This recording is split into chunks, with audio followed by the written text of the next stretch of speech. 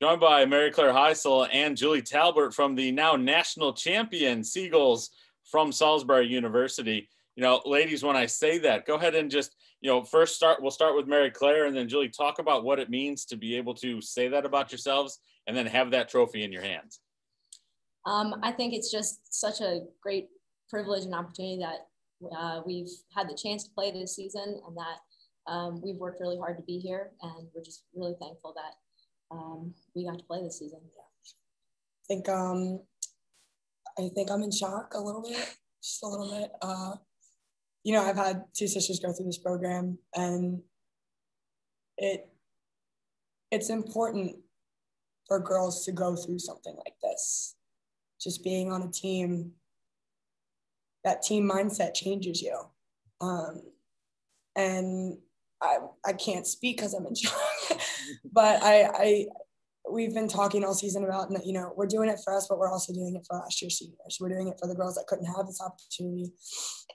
We're doing it for the girls that, you know, we could have won last year. And seeing them yesterday and today, there's their full support meant the world to us. And we also did this for, you know, our assistant coach, Allie Hinson, I've been saying all week. She, my freshman year, we lost the semifinal game on this field. Um, and that was her senior year. So changing that memory to this memory is pretty, pretty cool. That is very cool. And we'll open it up to some gentlemen here that have some questions about more of your cool performances. And I'll start, guys, I'll go right down the line. Ralph Benarchik, we'll start with you from the Turner Stream, please. Yeah.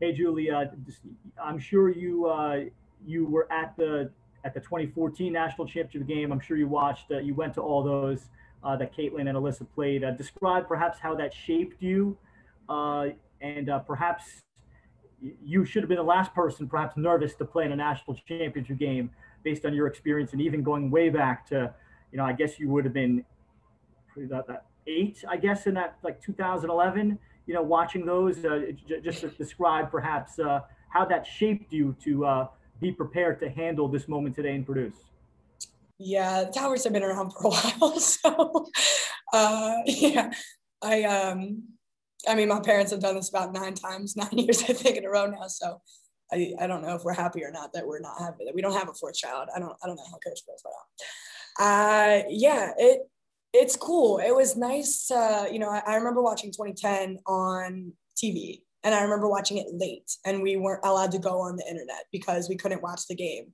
but we had to watch it live, so we didn't want to know who won. Um, and I think it was forget who it was. It might have been Allie Wheatley that did like a body ball. So I don't know. It's it's a crazy memory for me, but I remember sitting in my living room watching that. Um, 2013 and 2014 at Gettysburg and Stevenson were also huge moments for me, just being there in general. Um, I, I remember the Stevenson confetti coming out. Like it's just those weird memories that you remember. Um, so growing up around Salisbury, just always being involved. I mean, I went to all coaches clinics. I was probably annoying because I was there all the time, but it it's it was nice. It, it was I think it has shaped all three of us to be the people that we are. And you know, watching Alyssa and Caitlin go through, watching Alyssa's heartbreak. You know, she was also in Allie Hinson's senior class. Watching her lose on this field um, has just motivated me personally for all four years. You know, Caitlin has two rings. Last year probably get a third because she's an assistant coach. But um, it it's that fire underneath of me specifically that this ring isn't just mine; it's Alyssa's. Um, she did so much for the program, too much for me to even list anything out. But definitely being around has shaped us to be the people that we are for sure. Ricky Pollitt, please, if you have a question. Hey, Julie, I remember your signing day at Worcester Prep. You know, oh, you know, you just talking about how excited you were to join SU. I remember one thing you said back then was, you know, obviously win a national championship, but you really wanted to embrace that leadership role as well. And you know, we just talked to Coach who said, you know, you're a coach both on and off the field. I mean, you you command um, your teammates. So can you kind of just take us through your development from that freshman who came in a few years ago out of Worcester Prep to the player who's leaving today? Yeah, um, he definitely made me cry on that one for sure. it might come back.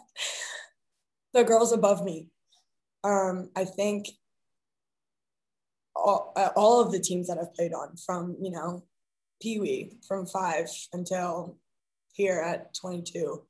But the girls above me, specifically my freshman year, Chrissy Alley, Alyssa, Dana, Gianna, um, all five leaders. Not a single one of them was it. All five of them, you know, captains to me. And I think learning under them was huge. Um, gaining that leadership knowledge from them, I, I got to give it to them for sure. Brandon Bosser. Hello. Uh, congratulations, first of all.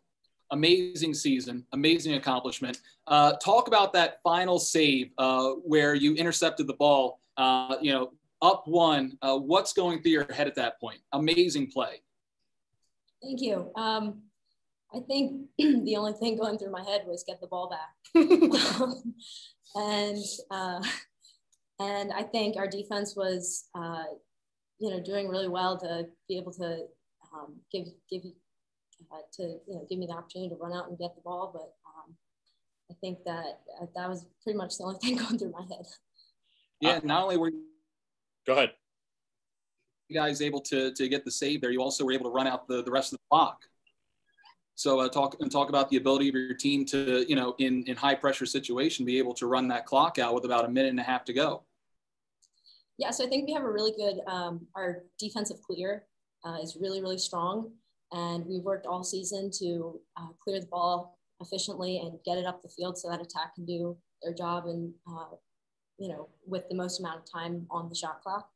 Um, and I think all of our work all season um, doing redirecting drills and just you know clearing every day at practice has really paid off um, and you know you could really see that in the last 40 40 seconds of the game where we uh, successfully cleared the ball of the field I want to expound a little bit about your skill being able to read the game back there and go ahead and step into those passing lanes because I saw it. I was at Washington Lee last week and I saw it several times then.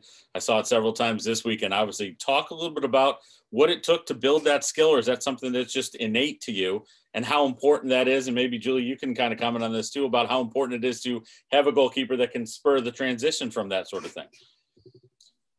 Um, well, I think it comes down to just, you know, reading reading the ball and reading the players. Um, and you know, coach tells us this a lot, where he you know saying read the def- or read, read the attack and uh, watch where they're going. And um, I think that's that's all that really. Yeah, I think uh, from the attacking side, when when MC gets an interception, eh, we have to score. I, I think our mindset is, you know, we're not going to let defense work this hard to throw the ball away to not put it in the back of the net. I think I jumped and almost fell down. I was so excited when she got that last interception. I mean, all, all season, she's just she's been killing it. You've killed it, clearly. But absolutely, Cyril Parham. Question for the ladies. First of all, congratulations, guys.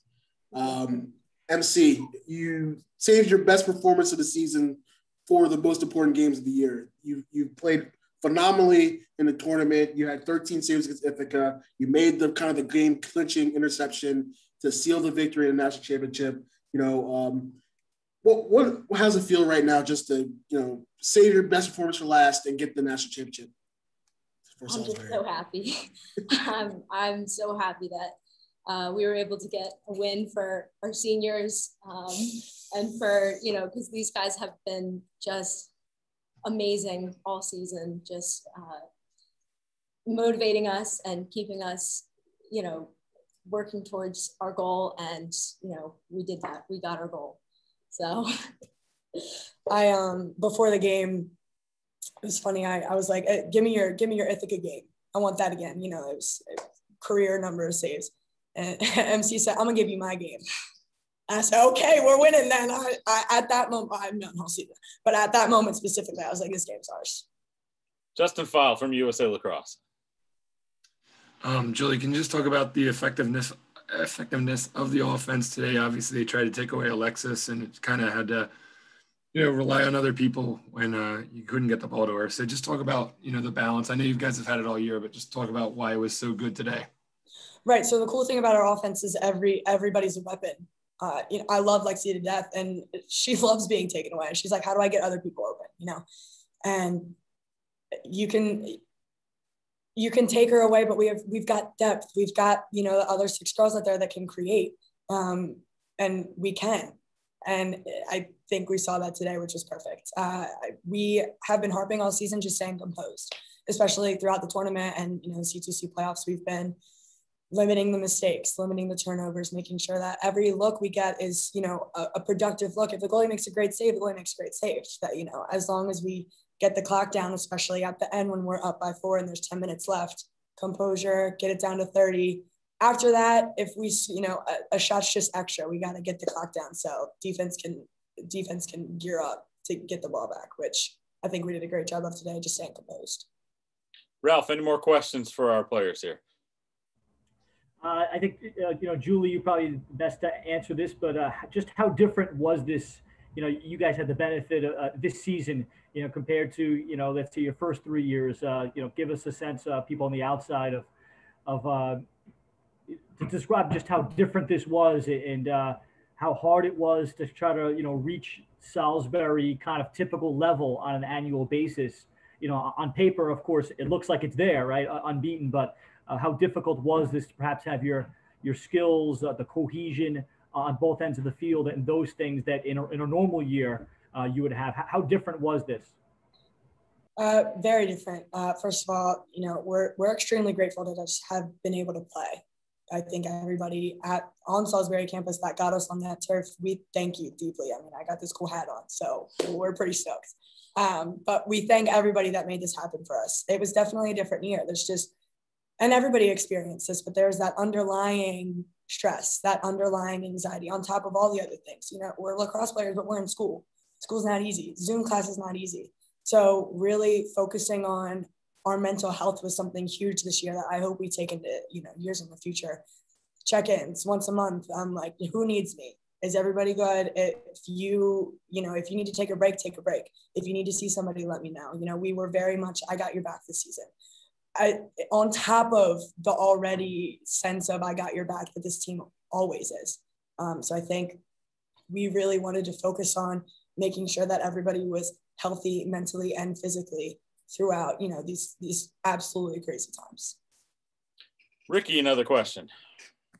Yeah, Mary Claire, I feel like for you guys, the past couple of years, you come into the season with the mindset, let's get back to where we were and then do better since, you know, you guys had come up uh, short of winning a national title. Now going into next season, since you will be defending champs and defending this title, how is the approach any different? I think it's the same. I think we have the same approach of, you know, let's, let's get back to where we are right now. You know, we know how this feels right now and I want to experience this again next year.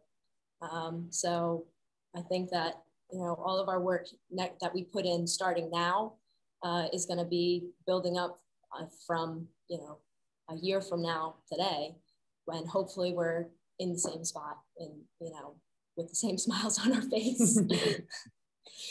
Brandon, any further questions for our players? No, thank you, sir. But once again, congratulations, lady, on the national championship. Thank you. Thank you. Daryl, any further questions? Congrats, guys. Thank you. Justin, any further questions? Thanks. Congrats. Yeah. Ralph, any more? Can All I right. say one more thing? Eh, one more second, Ricky. Well, I, I, have I have one more if we can squeeze it in. Um, Julie, I know you and your sisters are close. Um, does this kind of take away from any bragging that Caitlin has done the past, you know, several years? Does, does it put you guys on on even ground now? No, nah, she's been pretty calm about it because she knows Alyssa and Ab. We don't, we don't take that. So. Very good. Yeah, uh, she's she's remained humble with her wins. We'll say that.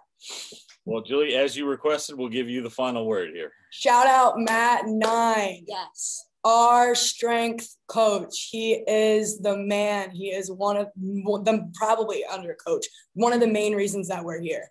He, yes. I already have like five text messages from him, and he's probably blown up the GroupMe. So he and the staff under him Dave, Mitch, Logan, Emily, everyone. I, we appreciate them so much for getting us into the shape, getting us the strength, and the injury prevention that they do is stellar, and they all deserve raises.